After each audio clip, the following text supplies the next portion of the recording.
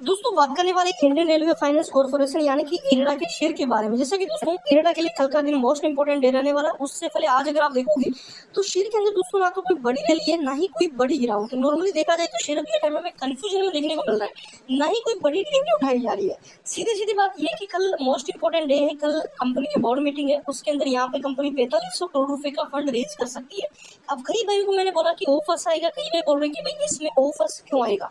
देखिए कंपनी कई तरह से फंड जुटाती है तो अभी के टाइम कंपनी क्यूआईबी की तरह फंड रेज करेगी ऑलमोस्ट यहाँ पे पैंतालीस सौ करोड़ रुपए की जो नए शेयर है प्रमोटर्स अपने यहाँ पे जो परसेंटेज है, उसकी शेयर जारी करेंगे। उसकी अकॉर्डिंग यहाँ पे मैं जो फंड है, वो रेज होता हुआ नज़र आएगा। कंपनी भाई पैंतालीस सौ करोड़ रुपए फंड जुटाने वाली है। ऑफर्स के थ्रू ऑफर्स उनके पास रास्ता है, जिसके अंदर company offer for public sale के अकॉर्डिंग यहाँ पे ये पैसा जुटा सकती है। तो यहाँ पे देखिए कंपनी के ऊपर कोई दबाव नहीं है कि सेबी या सेबी के रूल के अकॉर्डिंग कंपनी को ये जो रूल है फॉलो करना पड़ेगा, क्योंकि सेबी का एक रूल है, जिसके अकॉर्डिंग कोई भी कंपनी का शेयर मार्केट में लिस्ट होती है, उसकी जो प्रमोटर्स है 75 परसेंट होल्डिंग से ज़्यादा अपने पास नहीं कर सकते। उनको ओनली फॉर 25 परसेंट तो भाई पब्लिक करना ही पड़ेगा यहाँ पे। तो वो तो यहाँ पे कंपनी पहले ही रूल को फॉलो करती है बट फंड रेज अपनी जो योजनाएँ कंपनी चल रही है यहाँ पे फाइनेंस की, उनको बढ़ावा देने के लिए कंपनी भाई कंटिन्यू यहाँ पे कंपनी को पैसे की ज़रूरत तो पड़ेगी ही पड़ेगी। तो उनको उन जरूरतों को पूरा करने के लिए कंपनी ये फंड रेज करेगी हाल ही के अंदर देखिए गवर्नमेंट ने बहुत बड़ी अनाउंसमेंट करी है कि आने वाले ओनली फॉर अगर देखें हम दो हज़ार बीस तक गवर्नमेंट 500 गीगावाट की रिन्यूएबल एनर्जी की क्षमता कैपेसिटी लेकर चल रही है कि इतना टारगेट तो हमें अचीव करना अब इसमें दोस्तों क्या होगा कि प्रति साल कंपनी को 50 गीगावाट जो नई रिन्यूएबल एनर्जी क्षमता है, वो डेवलप करना होगा। इतनी कैपेसिटी इंक्रीज करनी होगी, तब जाके ये लक्ष्य के आसपास से पहुँचेंगे, वरना ये लक्ष्य बहुत ज़्यादा छूट जाएगा। तो इसके अकॉर्डिंग इरेडा इसमें अहम भूमिका निभाएगी। इन इरेडा यहाँ पे अगर आप देखोगे तो हमें ज़्यादा फाइनेंस करती हुई देखने को मिलेगी, क्योंकि भाई कंपनी जिस प्रकार रेलवे को आईएफसी फाइनेंस करता है रिन्यूएबल एनर्जी को आपकी इरेडा फाइनेंस करने वाली है तो इरेडा कोई छोटी मोटी कंपनी नहीं, आने वाले टाइम में आप देखेंगे कि बहुत बड़ी कंपनी बनती हुई देखने को मिलेगी कंपनी का मार्केट के में दो तीन लाख करोड़ के भी प्लस देखने को मिल सकता है। क्योंकि जिस प्रकार रिन्यूएबल एनर्जी की डिमांड बढ़ रही है रिन्यूएबल एनर्जी को गवर्नमेंट मत तो दे रही है तो आने वाले पाँच साल तो हम इस शेयर में रुक सकते हैं, उसके बाद अगर गवर्नमेंट चेंज भी होती है तो हमें एक चीज़ देखने को मिलेगी कि जो गवर्नमेंट की पॉलिसीज़ है वो भले ही चेंज हो बट ऐसा नहीं कि लोग रिन्यूएबल एनर्जी पर फोकस करना बंद कर दे। क्योंकि ये किफायती है। इसमें ज़्यादा चार्जेस नहीं लगते। इसमें खर्चा एक बार है, बाकी फिर यहाँ रिटर्न ही रिटर्न है। तो इसके अकॉर्डिंग ये जो प्रॉफिट है, आपके देखने को मिलेगा।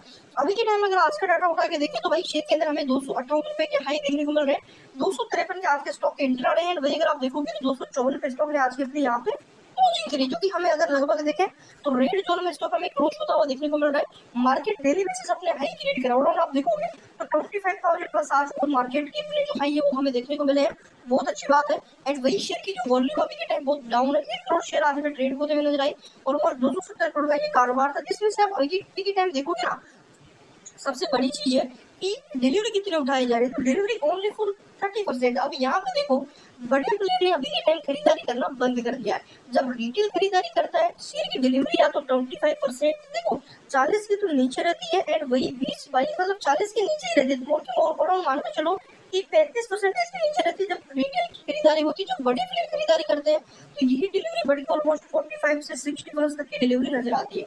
मतलब डिलीवरी हमें यहाँ पे बढ़ती हुई देखने को मिलती है। ओनली थर्टी परसेंट की है। बड़े प्लेयर कब खरीदेंगे वो फ़र्स्ट के अंदर क्योंकि उनको भाई डिस्काउंट में शेयर मिलेगा। अभी के टाइम खरीदने का कोई मतलब नहीं क्योंकि ऑफ़र डिस्काउंट पे आता तो भाई कौन लगाते? ही रोज खाएगा, नहीं खाएगा। तो यहाँ पे ऑफर्स आ जाए तो कंपनी अगर फंड रेज करती है पैंतालीस सौ करोड़ का कोई दिक्कत नहीं है, उसके बाद हमें शेयर के अंदर वापस से बाउंस दिखेगा? तो जो यहाँ पे कंपनी फंड रेज का अनाउंसमेंट करती है तो उसमें अगर शेयर में दोबारा दो सौ पचास रुपए की रेंज के नीचे मिलता है तो मेरे हिसाब से उन लोगों के लिए बहुत अपॉर्चुनिटी बनने वाली है। जो लोग यहाँ पे मौका ढूंढ रहे हैं, जिन लोगों ने तीन सौ पे सेलिंग करी है, चाहे जो लोग अभी के टाइम ये देखने की में एक बार फिर से एंटर लेने अच्छा प्रॉफिट लेना है तो उनके लिए मोस्ट इम्पोर्टेंट यहाँ पे रहने वाला है लेवल यहाँ पे रहने वाला है। अगर बात करें दोस्तों बोर्ड मीटिंग की यहाँ पे एक बार हम देख लेते हैं, इसके अंदर क्या शो किया गया है या नहीं किया गया है। तो एक बार यहाँ पे चेक कर लेते तो आप देख लो यहाँ पे।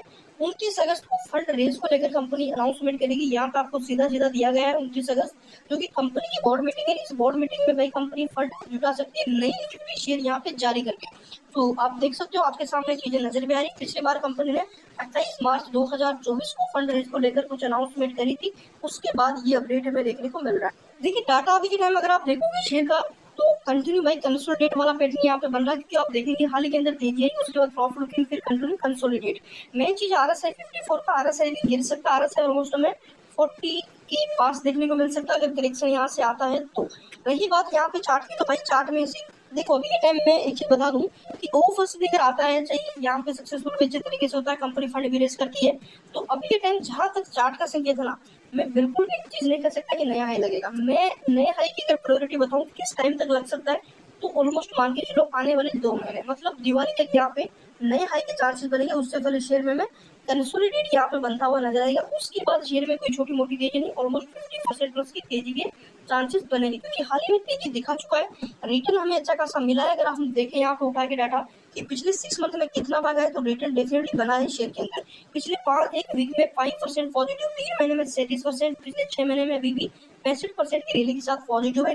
अगर आप टेक्निकली देखें तो स्ट्रॉन्ग बाइंग का संकेत है, वही अगर हम एनालिटिक्स की तरफ़ से देखें तो सेल का संकेत अभी के टाइम दिया जा रहा है। एंड मैं मेरे अकॉर्डिंग बता दूँ तो मेरे अकॉर्डिंग यहाँ पे एक अच्छी अपॉर्चुनिटी है। अगर 140 के बीच मिलता है तो फिर से मौका बनेगा सॉरी 240 के आसपास मिलता है तो एक अपॉर्चुनिटी यहाँ पे बनने वाली है। एंड उसके बाद डेफिनेटली बॉटम ये रिस्टोर पर रहने वाला है, इस बॉटम पे ही पकड़ने का मौका है यहाँ पे। तो अभी के टाइम डेफिनेटली आप होल्ड कर सकते हो बट कल का दिन मोस्ट रहेगा। देखते हैं बोर्ड मीटिंग में कंपनी की तरफ़ से क्या अनाउंसमेंट हमें देखने को मिलती है। तो सारी चीज़ें आपको यहाँ पे अपडेट के थ्रू हम बताएँगे तो आप चैनल को सब्सक्राइब करना मत भूलेगा एंड बेल आइकन को डेफिनेटली आप फिट कर लीजिए, ताकि मैं जैसे वीडियो डालूँ आपके पास नोटिफिकेशन मिल जाए, आप वीडियो को सबसे पहले सीन कर सके। Thank you